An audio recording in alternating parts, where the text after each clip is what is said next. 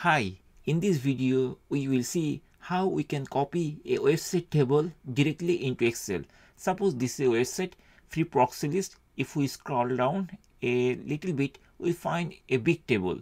Suppose we want to copy couple of rows from here directly and want to import in Excel. So at first we need to right click then from this menu we have to choose web capture.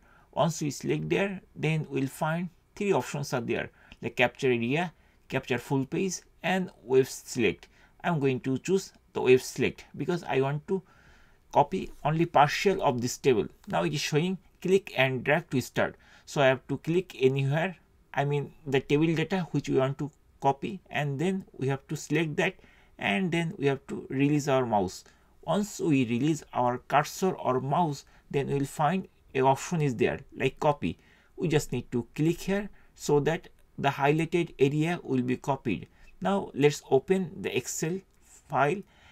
This is an empty Excel file and from here right click and then we have option like paste special or paste something like that.